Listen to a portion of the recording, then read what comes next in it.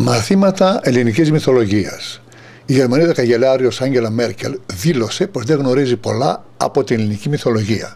Προφανώς δεν επισκέφθηκε ποτέ κάποιο γερμανικό μουσείο για να θαυμάσει κάποια από τα εκατοντάδες κλεμμένα αρχαία ελληνικά αριστουργήματα. Δεν γνωρίζω πολλά για την ελληνική μυθολογία και δεν θέλω να αναφερθώ σε αυτό.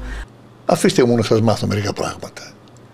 Είναι ανεπίτρεπτο, κοντζάμ αφεντική της Ευρώπης, να μην γνωρίζει από πού προέρχεται το όνομα του τσιφλικάτου που διοικεί.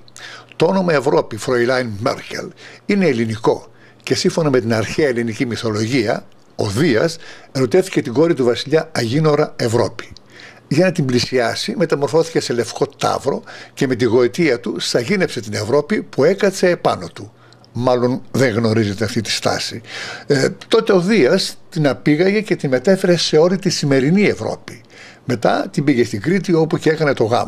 Από το γάμο αυτό γεννήθηκαν η Μίνωας, Ραδάμανθης και Σαρπιδόνας. Η ιστορία απεικονίζεται στο νόμισμα των 2 ευρώ.